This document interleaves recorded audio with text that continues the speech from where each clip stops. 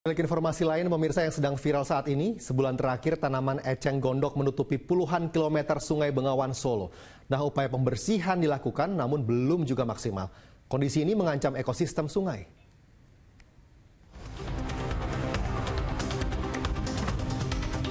Bak karpet permadani. Seperti inilah penampakan Sungai Bengawan Solo di Desa Malu, Kecamatan Malu, Kabupaten Bojonegoro, Jawa Timur yang tertutupi tanaman eceng gondok. Ratusan relawan lantas menggelar aksi bersih-bersih eceng gondok di kawasan ini. Bahkan dua alat berat ikut dikerahkan guna membantu proses pembersihan. Tanaman gulma yang berkembang cepat itu telah mengakar dan menjalar hingga menutup Bengawan Solo sepanjang 23 km. Sehingga pembersihan yang dilakukan relawan kali ini tak berjalan efektif. Kalau berbicara efektif atau tidak, tentu tidak efektif. Mengapa? Karena memang luasannya sudah lebih dari 20 kilo.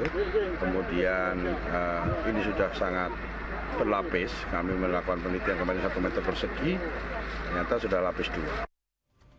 Dalam kuantitas normal, tanaman eceng gondok mampu membantu menyerap zat logam berat dan bisa menjernihkan air.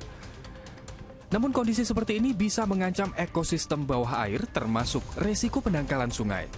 Dari sampel tanaman yang diperiksa Dinas Lingkungan Hidup, satu batang eceng gondok bisa menyedot 800 ml air per hari. Kini penanggulangan masalah ini masih dievaluasi pihak terkait. Muhammad Kodim melaporkan dari Bojonegoro, Jawa Timur.